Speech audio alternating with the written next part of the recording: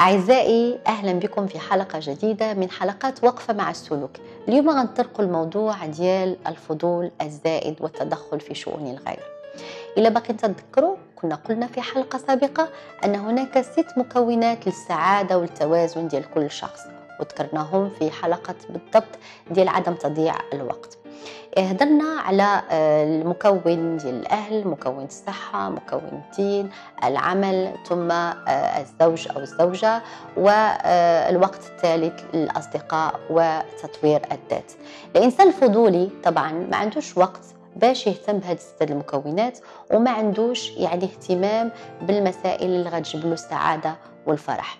فأنتو خصو يتوقف مع نفسه ويدارك الأمر ويحاول ما أمكن أنه يركز في حياته الشخصية لأن هذا هو الأهم وهذا اللي غادي يخليه إنسان ناجح. أشكركم على تتبعكم وما تنساوش سلوكك يحدد قدرك.